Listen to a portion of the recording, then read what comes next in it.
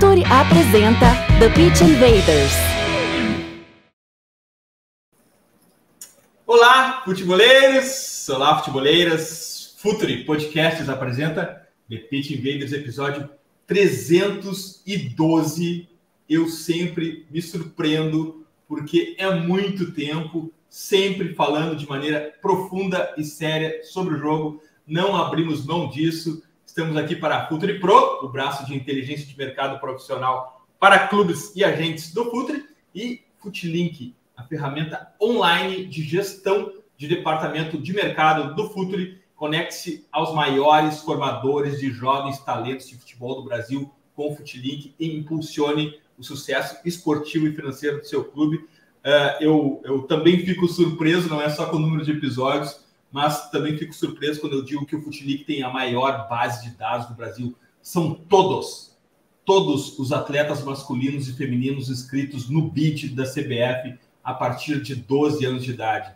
São todos, todos os campeonatos de base federados. Potencialize o trabalho do seu analista, pesquisa, monitoramento e análise de atletas, implemente processo, governança, tecnologia, Explore o nosso mercado de transferências online exclusivo. Tem um mercado de transferências online. Você já deve ter o vídeo nas redes sociais de um menino que o Goiás contratou do Gramadense direto pelo Futlink. Futlink é tecnologia que traz resultados. Meu nome, Eduardo Dias, você já sabe disso. Estamos no ar para mais uma temporada de invasão futeboleira. E eu adoro os episódios Skin in the Game, de quem arrisca a própria pele na arena e hoje eu tenho uma convidada muito especial, assim como o mundo do futebol uh, é muito masculino, a gente acaba também trazendo uh, a maior parte dos convidados homens aqui, mas eu tenho uma convidada muito especial hoje, convidada mesmo. Eu tenho uma dificuldade de qualificar. Ela é treinadora, é comentarista esportivo, é scouting, é embaixadora da Liga Portugal. Bem-vindo ao Futuri, bem-vindo ao TPI, Helena Costa. Que prazer. Bom dia para vocês, boa tarde para mim, já aqui em Portugal. Obrigada pelo convite e obrigada pela insistência no convite, porque não sabem os seus convidados, mas isto foi uma coisa que durou anos e finalmente conseguimos. e olha só, o que a Helena falou, é, não, o anos que a Helena falou não é metafórico, é literal mesmo. Foram anos de negociação. Foram anos é verdade. Não porque eu não quisesse, mas estava envolvida nos clubes e não podia falar. Era por é, esse o impedimento. E isso é um assunto bem legal para a gente trocar uma ideia aqui também. Invaders, vamos invadir então o playbook de Helena Costa. Helena, uh, um ponto muito bacana que a gente precisa deixar claro nessa conversa aqui. Uh, eu acho que só a tua experiência no futebol, a tua presença, uh, só isso eu acho que já deixa uh, clara a bandeira da mulher no futebol. Então não vamos abordar essa questão da mulher no futebol, porque a história por si só já conta. Mas eu quero saber uh, a treinadora. Vamos começar a escolher aqui nas diversas qualificações e papéis que tu exerce nessa indústria a de treinadora de futebol. Uh, vamos começar por aí. E na treinadora de futebol, ela tem uma experiência também treinando futebol masculino. A maioria. A maioria da minha experiência foi no futebol masculino. Uh, e... eu, eu comecei no Benfica, uh, na altura como estagiária, porque ainda estava a estudar, na, nos escalões de formação, muito novos mesmo. Comecei com os miúdos com 7 anos, 8 anos por aí.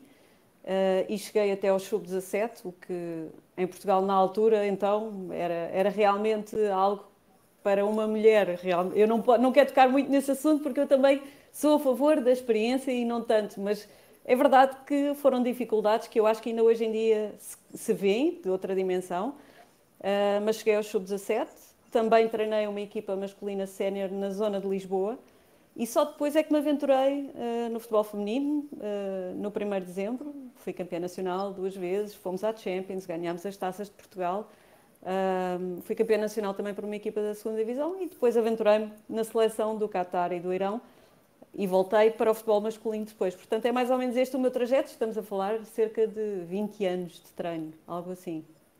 Ah, esse disclaimer era muito importante mas um ponto que a gente sempre ancora a nossa conversa, a gente sempre começa aqui por contexto.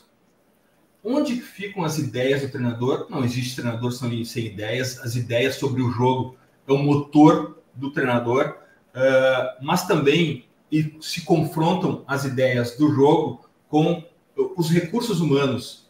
Uh, que tipo de jogador tem no elenco do clube onde você chega para treinar? Que país é esse?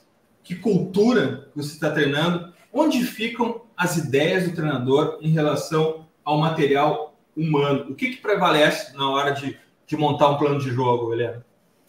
As qualidades dos jogadores prevalecem sempre, porque é verdade que eu posso ter as minhas ideias e as minhas ideias, e posso explanar aqui, são muito baseadas num jogo mais apoiado, não tanto de um jogo direto, um jogo mais pensado. Este é o perfil de jogo ou, ou a ideia de jogo que eu gosto.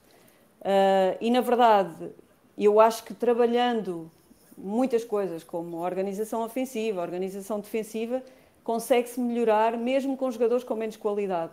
Mas para, para tu conseguires transportar isto para o jogo, é bom que tenhas jogadores que consigam pensar o jogo, consigam interpretá-lo, e isto o treino melhora muito, volto a dizer, mas também as qualidades que eles têm moldam por completo aquilo que tu podes fazer com eles. Portanto, se houver tempo, e o treinador normalmente não tem tempo para treinar, tem é que ganhar, e estamos a falar de patamares diferentes, nós estamos a falar do futebol de formação, onde se um clube pensar bem, a ideia é transportar ou formar jogadores para a equipa principal e, portanto, esse tempo tem que ser dado. Mas também sabemos que não é tanto assim, não é? O treinador está, muitas das vezes, até no futebol de formação, dependente dos resultados. Mas no futebol profissional, se houver esse tempo, eu acho que podes melhorar as qualidades, a forma de pensar o jogo, de interpretar. Agora, se tens os craques, é sempre mais fácil impor as tuas ideias, não é? É um pouco por aí. Mas hoje em dia há muito poucos projetos Há muito poucos. Hum, há muito poucos clubes que moldam sempre o seu projeto da mesma maneira. E, e esta até, agora transportando um bocadinho também para o scouting, quando estás como scout, ou chief scout, ou até diretor desportivo, uh, e queres fazer prevalecer uma determinada ideia no teu clube, então vais buscar um treinador que pense dessa maneira e, sobretudo, vais buscar jogadores que se moldem essa ideia. Porque não faz sentido Hoje em dia, teres um treinador que pensa um jogo, vamos expor assim, mais direto e precisas de um determinado perfil de jogador, e no dia a seguir já vais buscar o, o Guardiola, que pensa mais um jogo pensado, ou, ou, gosta mais de um jogo mais pensado, mais pausado, mais organizado, e precisa de outro perfil de jogadores. Agora, enquanto treinador, tens sempre que ter em consideração e, uh, que jogadores é que tens à frente. Isso é, é determinante para poderes moldar a tua ideia. Mas, claro, o teu cunho pessoal tem que estar lá, não é? Não fazia sentido essa, de outra maneira. Essa, essa questão que tu abordaste do é, existem poucos projetos, acho que é uma, é, um, é uma questão mundial isso, né? A gente fica muito focado, no meu caso aqui no Brasil, que na maioria dos casos não há projeto, simplesmente se busca o treinador disponível, depois que se faz uma rápida pesquisa no Twitter para ver se a torcida aprova ou não. Nesses, nesse, né, nesse teu histórico profissional, Helena, nas contratações ou nas contratações que não ocorreram, se falava de futebol contigo antes, quando te apresentava uma proposta, se falava em modelo, em projeto, em plano, ou queremos contratar, ou queremos contratar a Helena e vai lá, Helena, e resolve? Uh, enquanto treinadora, perguntas, porque aqui temos que fazer esta separação. Ah, verdade. Enquanto, enquanto treinadora, uh, sim, falava-se claramente. E eu, pronto, já expus aqui um bocadinho no, no, Benfica a ideia era formar jogadores para os escalões acima. Portanto, e é uma equipa, ou é um clube, que normalmente é um clube que joga com, com um jogo dominante, claramente no último terço, uh, sempre em posse, dentro de, daquilo que é possível. Claro que há adversários mais. Mas é, é claramente, ou era, formar uma ideia de jogador, e aí sim tinhas que uh, olhar mais para o jogador do que para tudo o resto. Uh, e a forma de jogar era implementada quase pelo clube, portanto, tive essa, essa, vá, esse modelo. Tive que me inserir nesse modelo e cresci nele, claramente. Depois, uh, no 1 de dezembro, aquela equipa que era campeã nacional era também uma equipa muito dominante, tinha excelentes jogadoras, quase todas elas na altura da Seleção Nacional de Portugal, e portanto também me foi possível impor o meu estilo de jogo, aquele jogo mais pensado, mais pausado, também dominante, transportei daí. Um, portanto, foram claramente experiências que, que uh, eu acho, e respondendo diretamente à tua pergunta, sim, foram-me procurar pela ideia, é o que eu acho. No Benfica, não, foi um processo de crescimento, o resto que veio depois, sim. Eu quero falar agora com a Helena Scouting. vamos, vamos trocando o perfil aqui do convidado, são várias convidadas.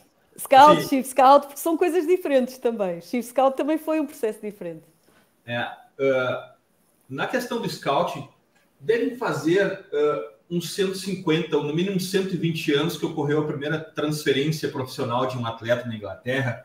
Uh, mas, e, e, obviamente que houveram milhões de transferências de atletas durante essa jornada toda, mas é a partir do começo desse século agora que, o, que, o, que as transferências de atleta que começam a ser como uma ferramenta de crescimento esportivo e financeiro dos clubes. Uh, Monchi, Arsene Wenger, talvez comece por ali, isso como uma ferramenta de crescimento. Como tu tem notado o scouting e departamento de mercado nos últimos anos? Tu nota isso também que é uma que é um ponto do futebol em que cresceu na última década, então exponencialmente. Eu até vou reduzir o tempo, talvez não na última década, mas nessa década, já nos últimos 4, 5 anos, cresceu muito o espaço de trabalho por scouting e os departamentos de mercado dos clubes, Helena? Eu acho que o lado económico do, dos clubes de futebol eh, está cada vez mais. Eh, ou melhor, os clubes de futebol estão cada vez mais dependentes das vendas dos jogadores. Não é tanto o formar jogadores no clube para jogar na própria equipa, é para se mostrarem e a partir daí venderem. Porque hoje em dia são muito poucos os clubes, com exceção daqueles que têm um financiamento de um dono que, que, que pode uh, muitas das vezes investir e não depende depois daquilo que, que extrai nas vendas. Esses clubes são muito poucos, os que conseguem viver assim, e portanto a maioria precisa claramente das vendas de jogadores. E portanto, nesse sentido, o scouting acaba por ganhar dois pontos de vantagem em relação a outros departamentos, ou então ao scouting de há mais tempo atrás. Um é achar o talento mais barato e depois mostrá-lo para vender mais caro. Este é para mim aquele que eu acho que foi uh, a maior importância uh, que o scouting ganhou, uh, essa dependência económica, mas sobretudo o chegar primeiro, o, chegar, o pagar menos, o ser mais rápido, e isso eu acho que faz toda a diferença. E o outro, claro, ter o talento para as equipas, não é só o lado económico, mas conseguir ter os melhores jogadores, os mais talentosos, para ter o rendimento imediato. E, portanto, eu acho que estas duas, estes dois fatores fizeram com que o scouting uh, claramente crescesse nos últimos anos, embora, e a minha ligação também começou no Celtic já há muitos anos, eu sempre vi que a maioria dos clubes deram grande importância. Talvez não se falasse tanto cá fora. Hoje em dia o scouting já é um tema muito falado. Uh, mas dentro dos clubes, e sobretudo aqueles mais estruturados, uh, foi, um, foi algo com importância. Por exemplo, em Portugal, talvez nesta altura tu consigas olhar para os clubes com já o scouting pensado. Há, as máquinas, não é? Há os três, quatro, cinco grandes e há os outros que, entretanto, olharam para o scouting de outra maneira e há, aí sim, concordo contigo, há quatro, cinco anos atrás, muitos deles dependiam de, de uh, ideias de, ou do treinador, ou de agentes, ou, ou, até dos presidentes. Portanto, era assim uma coisa menos estruturada. Agora não, eu penso que, que começa a crescer. Conta pra gente então, o teu histórico de scouting, como começou e por onde passasse. Eu acho que essa história é incrível, precisa ser compartilhada, Eliana. Conta pra gente uh... a diferença dos clubes que tu passou. Eu, eu não estava a ser capaz de tirar o curso de treinadores, e cá está, uma cruza-se com a outra. Tirar o, o curso de treinadores uh, UEFA em Portugal, por várias razões, pelos, pelos requisitos que eram necessários, e até acho que tinha currículo, e então concorri para a Escócia. Entrei na, na Escócia, tirei o, uma primeira parte do curso lá, depois acabei por conseguir fazê-lo em Portugal, mas essa, essa ida à Escócia deu uma oportunidade de, uh, lá mesmo, conhecer o Pedro Caixinha, curiosamente que agora está aí no Bragantino, uh, e um outro passou colega... Aqui, passou aqui pelo TPI também? Ah, também, não sabia. Uh, então o Pedro, por contactos que tinha, cria, criou ali um departamento de scouting também e envolveu-me nisso. Uh, e ele depois acabou por sair, porque teve oportunidades de, de, para treinador de outro, de outro nível. E eu continuei, estive no Celtic muitos anos, e, e esse clube era o Celtic. A partir daí, uh, eu fui sempre fazendo muita coisa ao mesmo tempo. Eu continuei a treinar, a equipa feminina na altura, já envolvida no scouting do Celtic, não de forma profissional, obviamente, Uh, e era uma coisa que não era incompatível com a outra, porque eu estava também no Benfica, mas era formação, estava numa equipa feminina sénior como treinadora e, portanto, estava a procurar atletas séniores para o Celtic. Nada era incompatível. E, e, do Celtic fui fazendo contactos e a partir daí passei também para, para scout do Eintracht Frankfurt, onde cheguei a Chief Scout, depois passado uns anos. No início só estive em Portugal, Uh, era scout residente em Portugal e depois fui para Frankfurt viver uh, e, claro, fazer a coordenação do scouting. E tive a felicidade de ser daqueles anos em que o clube cresce, ganhar a Liga Europa e, e temos histórias fabulosas. Uh, os nossos adeptos eram uma coisa tremenda, ainda são, ainda são. Fiquei com um enorme carinho por aquele clube e acho que é de facto um clube com um crescimento nesses anos, também fruto do scouting, não há como, dizer, como escondê-lo. Ah, e sim. a partir daí fui para o Watford como Chief Scout.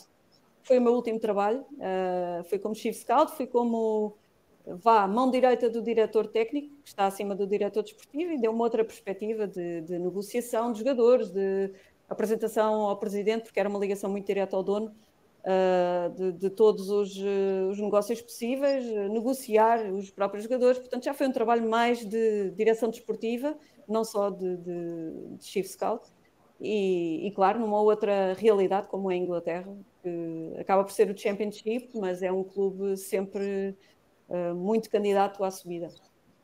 A gente tem um outro podcast aqui que é o EXZ, é um podcast exclusivo para gestão esportiva, para diretores esportivos. A gente conversa muito com diretores esportivos, mas hoje a gente vai fazer um, uma mistura aqui, porque eu quero, não quero, não posso deixar passar essa questão da, da direção esportiva de um clube.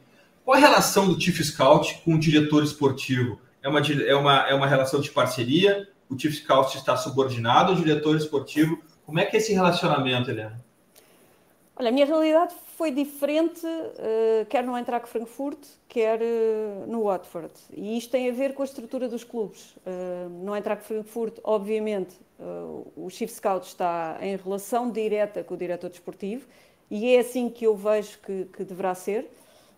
Porque, no fundo, o filtro de todo o trabalho de scouting tem que passar para o diretor desportivo um, e o diretor desportivo depois define um pouco o caminho. Uh, imagina, vou dar exemplos concretos.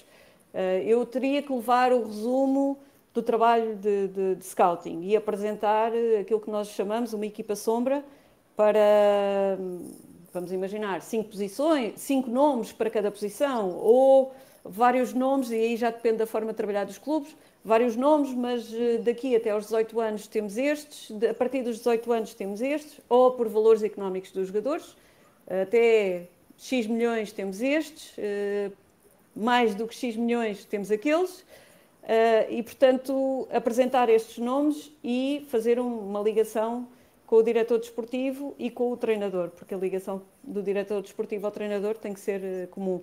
Há clubes que decidem por si, cá está, depende se têm projeto e não são tão dependentes do treinador. Há clubes que decidem com o envolvimento do treinador, porque também faz sentido a ideia de tu contratares um jogador, se o treinador não o quer, provavelmente se calhar não o vai pôr a jogar e, portanto, o ideal é, é, é este mix e daí eu dizer que esta ligação tem que existir. Isto foi no Eintracht Frankfurt. No Watford a estrutura era totalmente diferente. Como te disse, eu tinha duas funções é um pouco estranho pensares assim, mas foi a realidade e até estava contratualizado. Portanto, havia o diretor técnico, que já trabalhava comigo no Eintracht Frankfurt, portanto, era uma ligação já de oito anos. O diretor técnico, abaixo havia o diretor desportivo, vamos pensar que abaixo havia o chief scout, que era eu, mas por outro lado também era assistente do diretor técnico, ou seja, estava abaixo do diretor desportivo, mas estava ao lado do diretor técnico, estava acima do diretor desportivo. E, portanto, aí a estrutura era diferente. Eu tinha uma ligação direta com o presidente, uh, com o diretor técnico, com o treinador. Portanto, era uma estrutura totalmente diferente, muito mais próxima da decisão, claramente, e cá está, como te disse há pouco, também da negociação, de, fiz tudo. Portanto, uh, estava diariamente também nos treinos, uh, ia para estágios com a equipa, no fundo é ser diretor desportivo. É muito interessante quando tu falas da relação do treinador com o departamento de scout, que aqui no Brasil se chama agora, mais recentemente, departamento de mercado, é que uh, em muitos clubes ainda o departamento de mercado e o conceito é o treinador que traz. É o treinador do momento que diz qual é o jogador, já tem a lista, já tem o perfil. Às vezes nem tanto o perfil, às vezes a lista, que é um pouco aleatória na construção. Uh, em outros clubes, eles tentam se desvincular do treinador, tentam fazer com que o mercado seja algo do clube, mas, como tu bem disseste, precisa que o treinador não seja o processo, mas seja parte do processo, porque afinal de contas Sim. é ele que essa escala. Para mim, mim, essa é a minha visão, é, é, o ideal. Não, não é, e eu contra mim falo, não é? Porque o lado treinadora diz-me o ideal é eu chegar a um clube e dizer este é o jogador que eu quero ou a jogadora que eu quero, não é? Uh, isso é o ideal na visão do treinador, porque já sabes que se vai adequar às tuas ideias.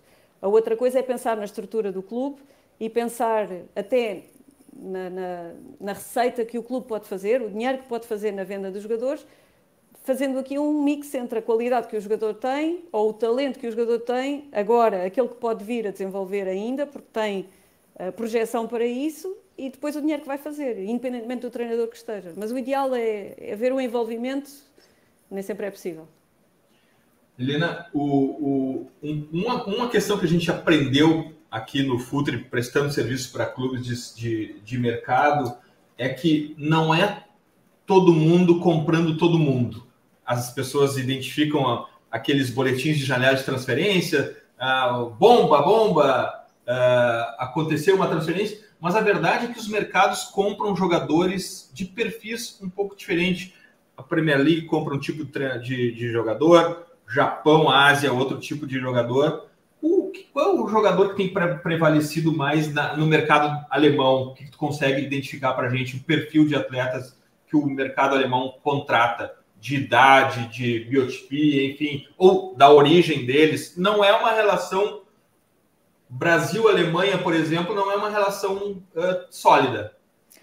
Não, Brasil-Alemanha não é uma relação sólida, mas eu acho que já foi menos sólida do que aquilo que é agora. Uh, mas na Alemanha há vários há vários perfis. Para já o lado físico, esse é comum. Eu acho que são muito poucos os clubes que olham para outro.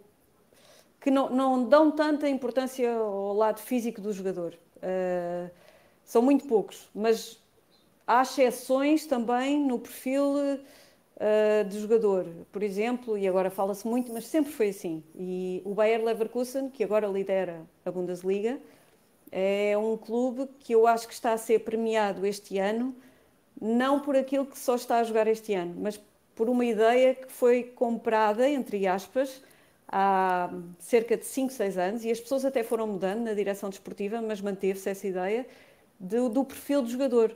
Um jogador muito jovem, super talentoso. É verdade que é um clube que tem dinheiro para investir, não estamos a falar daquele que vai buscar a zero para, para vender depois, ou seja, consegue realmente investir, mas não, é muito raro ver o Bayer Leverkusen desviar-se desse perfil. Por outro lado, e agora pegando o exemplo do Frankfurt, eh, quando nós chegámos não havia dinheiro para nada, nada, e tivemos que recorrer a empréstimos, eh, praticamente um plantel feito a empréstimos. E, portanto, aí o perfil foi o jogador jovem, talentoso de clubes grandes, que não tem espaço no clube grande, e vamos imaginar Real Madrid, Benfica, Porto, Sporting, Atlético Madrid, etc., que não têm espaço nesse, nesses clubes, mas que têm o talento para jogar neles um dia mais tarde e que, portanto, serviram para o crescimento do Eintracht Frankfurt, que agora já investe de outra maneira nos jogadores do que investia na altura, e, mas sempre procurou jogadores jovens. E há um terceiro tipo de, de, clubes na Alemanha que investe muito mais no lado físico, jogadores já mais feitos, mais velhos, uh, mas que não custam tão caro. Portanto, depende muito do budget e aí sim eu consigo identificar claramente ideias uh, de projetos. Mas o lado físico, para mim, é comum. É raro o clube que não olha para o lado físico na Alemanha. Ah, que ótimo! Em Espanha, em Espanha é diferente, em Portugal é diferente, são jogadores mais. Uh, uh, diria, mais técnicos, o lado físico não é tão prevalente, embora haja clubes que valorizam na, na Espanha, inclusive, inclusive, a biotipia bem diferente. Muito diferente, muito diferente. Mas depois há aqui outras coisas que influenciam muito. As regras de mercado de cada país uh, influenciam muito o facto de poderes ir buscar um extra comunitário, neste caso um brasileiro, um argentino, ou o que seja, uh, em Portugal. Isso não é uma limitação. Também há o favorecimento da língua, não é? O facto de falarmos a mesma língua ajuda muito. Até o clima, eu diria que é diferente em relação a algumas zonas de, do Brasil, mas até o clima, o, a existência de praias. Parece não, estas coisas são, são favorecedoras, eu acho, da, da adaptação do jogador uh, e o lado mais técnico do jogo, que em relação a, outras, a outros países, eu acho que prevalece muito e, portanto, o jogador brasileiro é muito bem-vindo, por exemplo, em Portugal. E, e, e, quem, e que jogador que a, que a Inglaterra está comprando? Eu adorei essa tua análise sobre a Alemanha, concordo muito com ela. Uh, Consegue fazer uma analogia com, com uma comparação com, com, a Inglaterra? Que jogador que a Inglaterra está comprando, Eliana? Consigo. A Inglaterra também tem ideias diferentes. Uh, Inglaterra, Inglaterra tem, tem dinheiro, não é a Inglaterra toda, atenção. E eu tenho desmistificado isso porque. É, não, e é importante esse disclaimer porque assim. Aqui no Brasil a gente costuma falar, né? Ah, o jogador foi para a Europa. Ok, mas que Europa é essa que a gente está falando, né? Então, quando a gente Sim. fala em Inglaterra também, porque a diferença do budget é incrível. E, e, por exemplo, o meu caso no Championship, as pessoas têm a ideia que há muito dinheiro, mas não há muito dinheiro. Não há muito dinheiro nem para vencimentos, nem para o dia a dia das equipas, nem para contratações. Não há. Há muito dinheiro para os clubes que descem, acabam de descer de divisão, vêm da Premier e têm ali o Parachutes, que é, no fundo, um budget enorme que ajuda bastante naquele primeiro ano. Mas depois eh, fecha-se a torneira, como nós costumamos dizer, e acaba-se aí, e portanto Aí olha-se mais para um, um jogador muito rápido, obviamente muito talentoso. Normalmente uh, as maiores transferências, as transferências em maior número são de atacantes, nem tanto de defesas, mas também já se começa a ver. Um, e, e, eu penso que é muito por aí. Jogadores que têm um potencial e depende muito, era aquilo que eu estava a dizer. Eu consigo, por exemplo, na Premier League, diferenciar completamente projetos. Eu posso inserir no mesmo leque um Brighton, um City e até um Arsenal, e em leques diferentes de, de biótipo e até o tipo de jogador que vão procurar, um United, um Tottenham e uh, as restantes equipas. Portanto, eu acho que é muito claro que um City e um Brighton procuram jogadores muito técnicos, muito uh, diferenciados, uh, que fazem toda a diferença em espaços curtos, eh, que gostam, cá está, de jogar num, num, ataque mais dominante, no último terço ou no meio campo ofensivo. Eh, e os outros apostam muito também nesse tipo de jogadores, mas que se adaptem a momentos de transição muito menos dominantes. E eu acho que aqui se misturou muito aquilo que é o projeto do clube com os treinadores que foram buscar, porque okay. estamos a falar de um De Zerbi no, no Brighton, no Guardiola, uh, no City, Portanto, acho que uma coisa se associa à outra porque esse projeto foi pensado. E agora chegamos a Portugal. Quem Portugal está comprando? E assim, mas a gente tem que definir né, os, os três, quatro primeiros da tabela com o restante do campeonato. Há, há, claramente é um perfil de diferença de, no mínimo, de preço pago pelos jogadores. Sim. Quem são? Dá uma, faz uma análise do mercado português. Quem o Portugal está comprando, Helena? Eu acho que este ano uh, as coisas diferiram. Até aqui vimos um mercado português, e aí pode-se generalizar uh, para os três. Uh, os clubes, obviamente, não têm tanto dinheiro como, podemos dar o exemplo, os alemães, os ingleses, não é? E, portanto, os clubes ingleses arriscam, portugueses, perdão, arriscam muito mais do que aqueles que têm dinheiro para investir. Isto é, é lógico. E são os primeiros a chegar. Uh, e têm saído muito bem com esse tipo de risco, uh, porque pagar 2 milhões que sejam por um jogador e depois vendê-lo por 80, 90, 100 ou até mais, não é? isso tem acontecido. Mas eu acho que esta época uh, foi diferente e foi diferente porque começou a haver um investimento desabitual. estamos a falar de 20 milhões.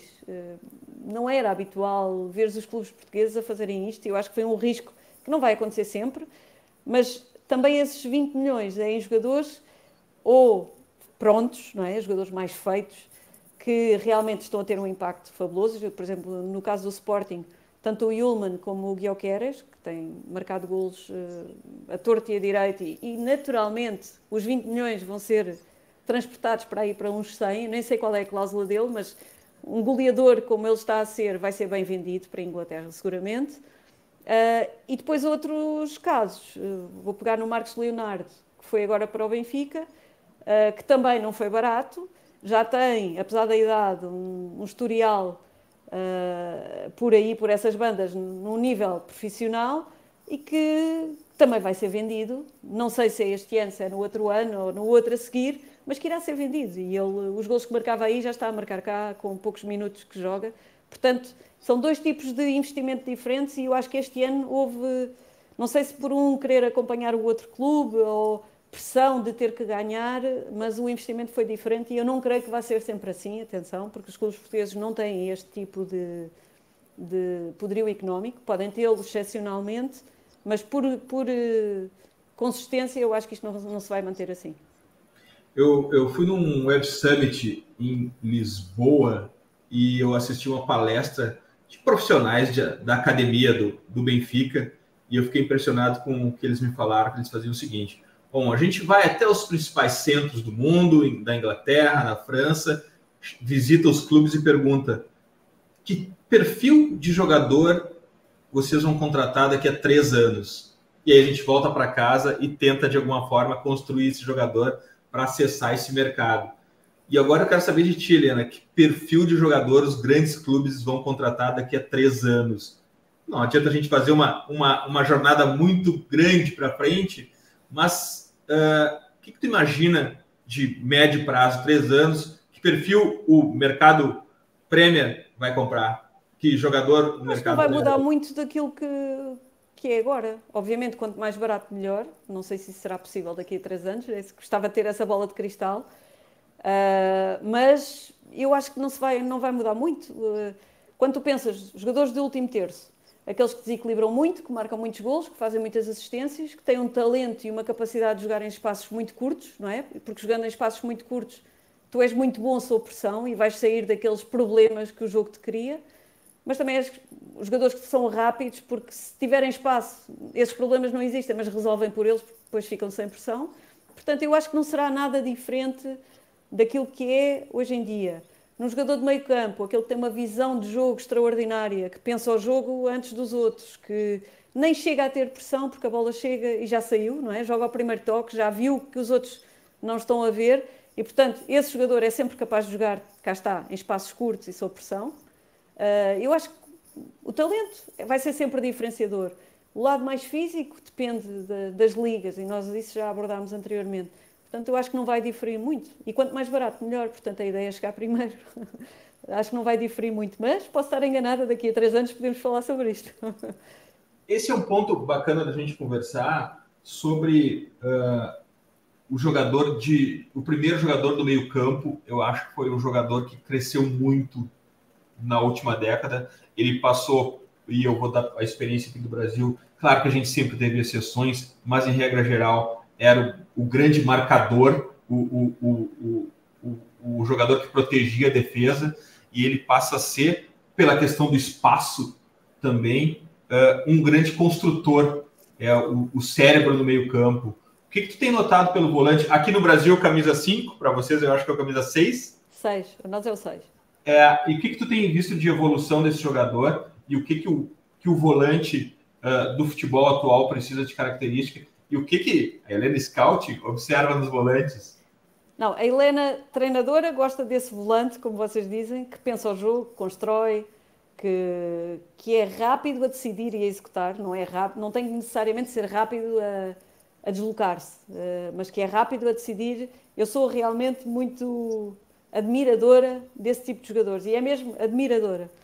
Uh, mas continua a existir muito quem goste mais, e estamos a falar aí sim, perfil de treinadores, uh, que goste mais de um 6, um ou como vocês dizem, o volante, mais alto, mais físico, mais, uh, mais potente, mais presente, ou seja, posicional, não tanto a sair a construir, que limpe um pouco o jogo por ali, que entregue e que deixe que os outros organizem. Que seja claramente um posicional que, que defenda mais do que aquilo que realmente ataca, que só liga o jogo. Uh, e aí cá está, depende muito se houver projeto do projeto do clube, se houver, uh, se depender do treinador, da ideia do treinador. Agora, eu claramente, enquanto scout, tive que me adaptar aos treinadores que tive e àquilo que me vinha de indicações dos clubes. Na Alemanha havia um misto entre o 6 que pensava o jogo uh, e o 6 físico. E aí variava, às vezes até nem era tanto com o treinador, mas era mais com o adversário que nós íamos encontrar. Um, que capacidade é que nós teríamos de realmente ser uma equipa dominadora e construir a partir de trás, ou então mais uma equipa que já sabia que a partir de ia estar mais tempo a defender e que queria pôr o, o jogador mais físico. Em Inglaterra, claramente, o 6 é, é mais um 6 eh, posicional.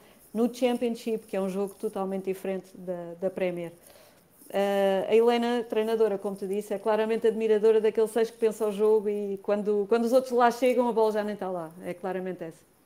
Helena, o que eu achei bacana nessa, nessa tua resposta foi um detalhe importante, pelo menos para mim, é que eu fiz uma pergunta para Helena Scouting e respondeu a Helena treinadora, mas eu acho que nisso tem uma, uma, uma, uma, uma questão de característica da função que tu executas Uh, no, no, na, a Helena treinadora tem as suas ideias e tenta implementar as suas ideias no jogo. A Helena Scout, ela executa um plano. Eu tive, eu tive que me adaptar, não é? Aos treinadores.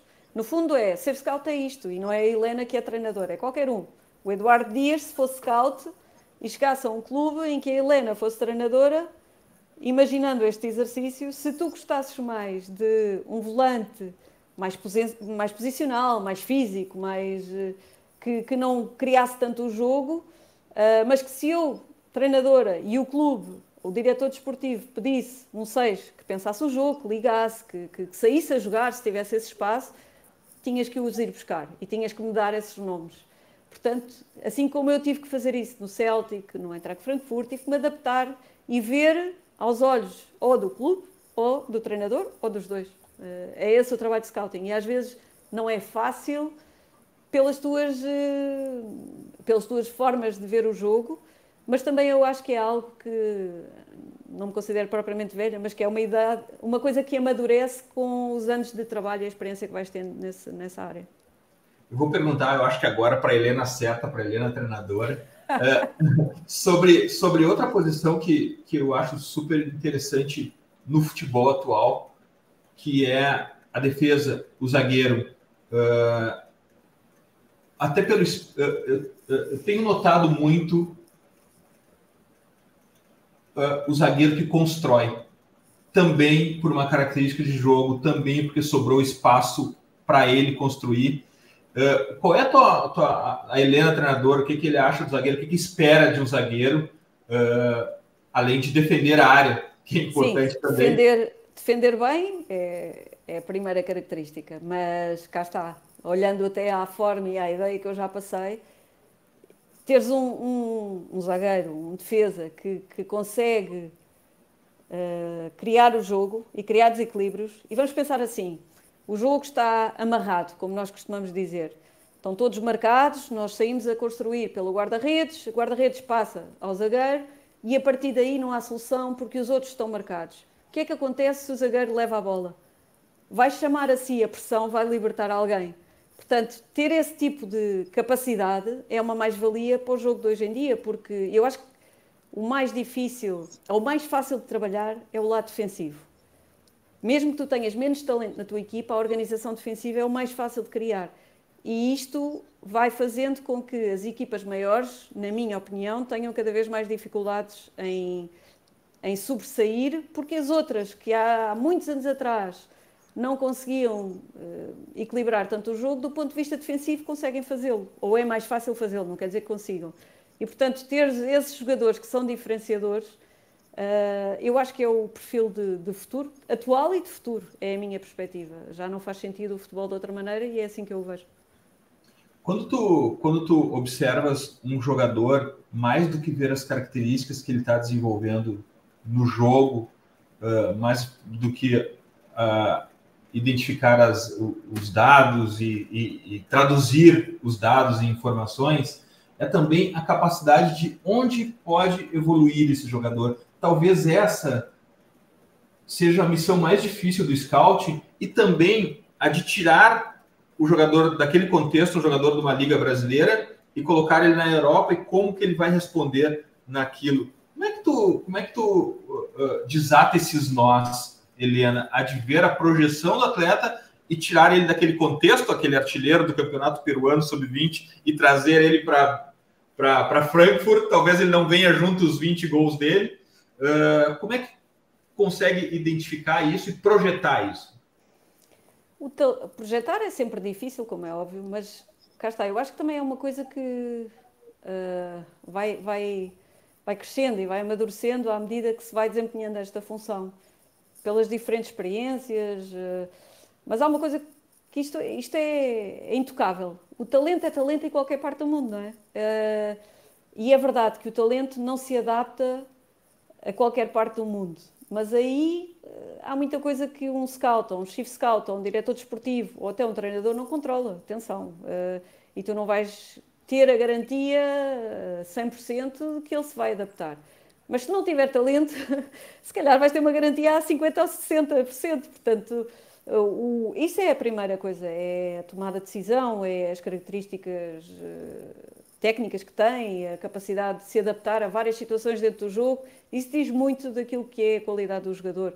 Até a evolução que ele teve até ali, estou a falar de casos em que acompanhas miúdos desde sub-15 até até aos sub-18, sub-19, e a partir daí tu já tens uma perspectiva completa do que é que ele evoluiu ou não evoluiu. Ou se... Mas há miúdos que me enganam, e não enganam. Eu estou farta de dizer isto e, não... e sei que há muita controvérsia por trás, mas a minha experiência com esses miúdos de 7 anos dizem que os muito bons aos 7 anos são muito bons uh, sempre. Sim. Aqueles que são mesmo craques são sempre craques, e não há, não há dúvida, não há dúvida. E essa experiência eu tenho-a. Portanto, essa é uma convicção minha que ninguém me tira da cabeça e depois toda a gente diz que há muitos fatores na vida. E é verdade, pode acontecer, não é? Falecer a mãe, o pai, e isso diferenciar a vida dele, mas aquilo que ele tem vai sempre ter. E os muito bons nessa idade são sempre muito bons. Portanto, é um risco, mas se calhar o talento é aquela característica, a capacidade de se adaptar em jogo é característica que talvez me leve mais a arriscar. Mas depois, claro, a forma de jogar ou as ligas em si, e o Championship deu-me agora também uma ideia mais evoluída, o meu pensamento é que nem todos os jogadores se adaptam ali, uh, ou se calhar demoram mais tempo adaptar-se ali. Uhum. Portanto, estes pequenos percalços uh, depende dos treinadores também, não é? Para o que é que olham? Podes dar um Messi a um treinador que não gosta dos Messis, não é? Eu acho isto um crime, mas, mas pode haver. E quem, quem diz este generaliza desta maneira pode falar de outro tipo de talentos, não é? Podes dar um miúdo super talentoso uh, a um treinador que não goste ou de baixinhos ou prefira apostar em jogadores que são claramente mais velhos e mais experientes e não tanto na juventude. Há essa teoria também, não é? Eu prefiro apostar no talento, seja ele de 50 ou seja ele de 5 anos, não é? Portanto, é a minha, é a minha perspectiva, assim, de uma forma mais dramática, mas é a minha perspectiva. Esse ponto, é, eu, eu, eu no meio da, das suas respostas, abre-se portais aqui na minha cabeça e eu, eu, vou, eu, vou, eu vou entrando, porque uh, agora tu falaste dos jogadores mais experientes, é muito clara uma espécie de juvenilização. Os clubes estão cada vez contratando jogadores e utilizando jogadores cada vez mais jovens. Mas para esses jovens, uh, entregarem performance, eles precisam dos tutores também, né? Então, uh, não é contraditório um clube que tenta desenvolver jovens atletas contratar jogadores mais velhos também, né, Helena? Eles precisam de tutores dentro de campo para serem farol técnico e de carreira dele. É, essa, essa juvenilização, como disseste, tem que ver com a necessidade de vender jogadores, não é? Exato. É a minha perspectiva. Exato. Uh, são as necessidades económicas a falar mais alto e é o futuro, parece-me, do, do futebol, cada vez mais, porque a maioria dos clubes, e depois do Covid, então, notou-se muito, tem sérias dificuldades. E é isso que o mercado internacional cada vez mais procura, o europeu. Uh, na minha perspectiva, depende, cá está, do treinador, mas uh, claro que um jogador jovem, se tiver alguém uh, ou jogar ao lado, ou na mesma posição, mas que seja realmente um bom companheiro de equipa e que no treino os ajude, ou assim, um contexto positivo já com um jogador de experiência, vai aprender também com ele. E eu acho que isso é positivo num clube.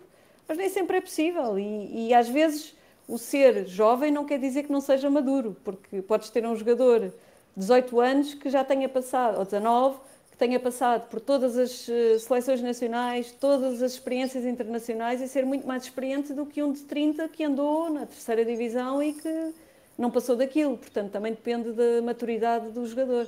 Agora, eu acredito claramente que ter alguém experiente, haver uma mistura, ajuda os jovens num, num patamar de competição elevado. Ah, concordo muito com, com essa tua, tua definição.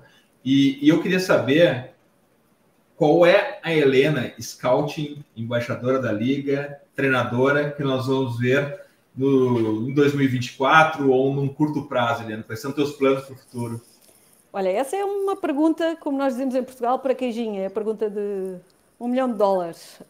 Um, neste momento, parei há muito pouco tempo, não é? terminei no Watford em dezembro e, portanto, uh, estou a fazer um, um bocadinho de pausa também para perspectivar o melhor futuro. Eu prevejo, uh, nesta altura, que estou completamente preparada para ser diretora desportiva. Uh, estou a apontar as fichas para aí, mas o mercado tem, tem surpreendido. Tenho recebido vários convites para treinar.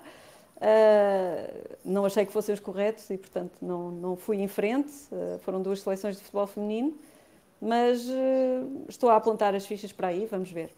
Vamos ver. Eu adorei, adorei essa, esses planos de diretora esportivo. Aqui no Brasil, esse cargo se chama de executivo, executivo de futebol é como é chamado aqui no Brasil. Uh, inclusive, a gente está com um curso incrível de executivo de futebol, uma certificação de executivo de futebol.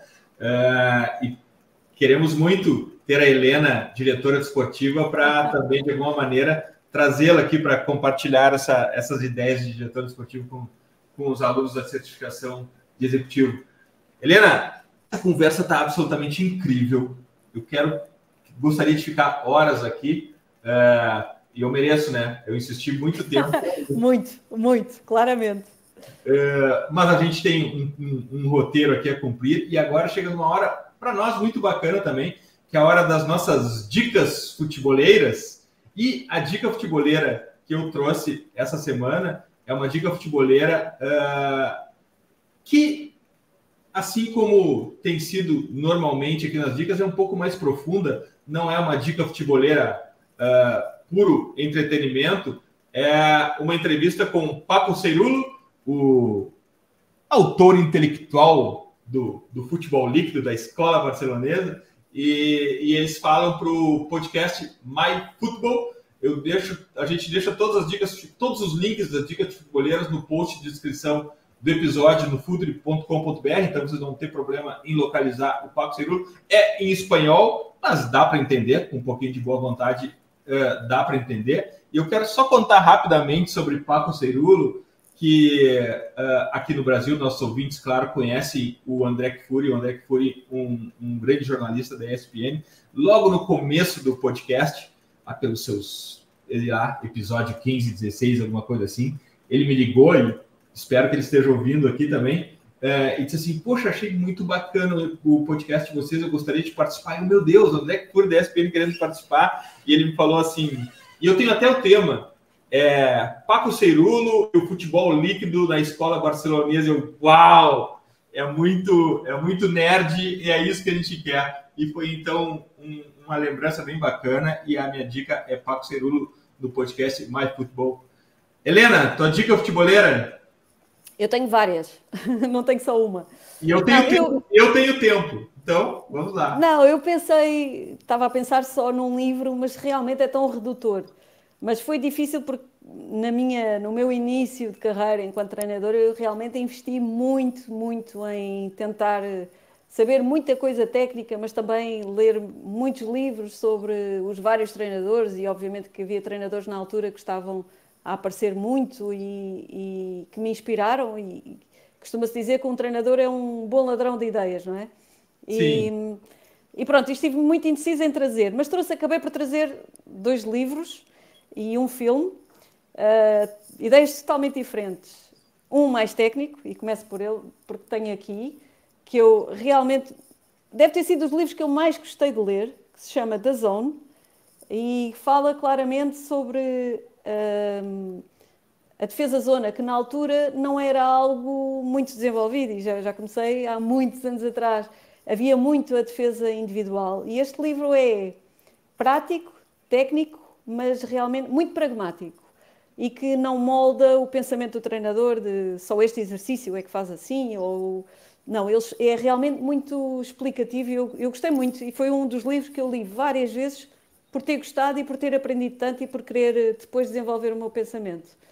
O outro livro é um bocadinho mais filosófico, não tem nada a ver com futebol, mas ajudou-me a olhar para o jogador, a perceber o outro, assim um bocadinho mesmo fora da caixa, uh, que se chama Cartas a Lucílio, do Séneca, e foi sugerido por um professor na faculdade que hoje em dia é um grande escritor, Gonçalo M. Tavares, e que esse livro marcou-me também por, eh, por, eh, por ser um livro fora da caixa, que nos faz realmente pensar no outro de outra maneira e até em nós próprios treinadores a tentar perceber-nos. E, portanto, não tem nada a ver com futebol, uh, mas é um livro que eu acho que abre aqui algumas janelas que podem ser importantes. E depois deixo aqui uma sugestão que eu não vi, porque ainda não saiu, mas que eu estou muitíssimo curiosa e não sou a pessoa que está ligada ao futebol feminino ultimamente, uh, que é um filme que vai sair no Dia Internacional da Mulher, vai sair nos cinemas, que se chama Copa 71, que eu nem sabia que tinha acontecido. É sobre uma Copa Mundial que aconteceu em 1971 na cidade do México e que ninguém fala sobre ela. Parece que a FIFA esconde isto Uh, há depoimentos das pessoas que estiveram a jogar e que na altura eram completamente, sei lá, massacradas intelectualmente porque eram mulheres a jogar futebol em 1971, mas teve um impacto de estádios cheios uh, e algo que eu nunca tinha ouvido falar, nunca. Portanto, eu estou curiosa para ver esse filme e está, pelos vistos, candidato a uma série de prémios internacionais e, com, sobretudo, com, é um documentário com, uh, no fundo, testemunhos de quem esteve lá a jogar, de quem viveu aquilo e as reações que a FIFA teve e, portanto, deixo aqui também o, primeiro o desejo de o ver e depois a curiosidade e, por que não, publicitá-lo. E produzido pelas irmãs Williams. Exatamente, exatamente. É incrível. Uh, falar em irmãos Williams, eu deixei passar essa pergunta, mas ainda é tempo. Uh, assiste outros tipos de esportes, aplicas o que uh, aprendes e observas em outros tipos de esportes no futebol, porque quando falasse agora no Sêneca e, e, e, e, não tem nada a ver com futebol, mas no fim do dia sempre tem a ver com futebol de alguma maneira. Tem a ver com pessoas. É, tem a ver com pessoas. Uh, Stanford tem um princípio de busque em outras indústrias coisas para aplicar às suas indústrias, principalmente as perguntas é, e eu queria saber de, de outros esportes, buscas em outros esportes, algum movimento, algum bloqueio. Vou ser honesta, vou ser honesta. Eu, a partir do momento em que trabalhei em scouting e estando a treinar também, uh, fui totalmente absorvida por tempo pelo futebol. E não, nunca, uh, não é nunca, é muito raro, muito raro mesmo, parar para ver outro tipo de esportes. E se calhar perco, porque, porque essa conversa e esses uh, testemunhos de pessoas que conseguem transportar do futsal, do basquete, etc., do voleibol até, uh, algumas coisas, uh, se calhar perco, mas não, não o faço. Não o faço porque não tenho tempo. É uma absorção total e até um vício total pelo futebol. Portanto, não, não faço. Helena, que conversa deliciosa. Obrigado ah, por estares um aqui. Obrigado por estares aqui. Uh, quando quiseres, portas abertas para ti. Quando quiseres também estabelecer essa conexão com o Brasil, vai ser um prazer te receber por aqui. Seja bem-vindo também. Estaremos obrigada aqui. Obrigada pelo convite. Porque, e pela insistência, eu acho que mais que o convite é insistência. É, Helena, uh, estaremos de olho nos teus próximos passos e torcendo por ti. Obrigado, Obrigada. de verdade. Obrigada eu. Foi um gosto. Futeboleiras, futeboleiros, nós, temos, nós somos o Futuri e temos um convite para vocês. Pense o jogo. Abraço e até a próxima invasão. The Pitch Invaders. Futuri apresentou The Pitch Invaders.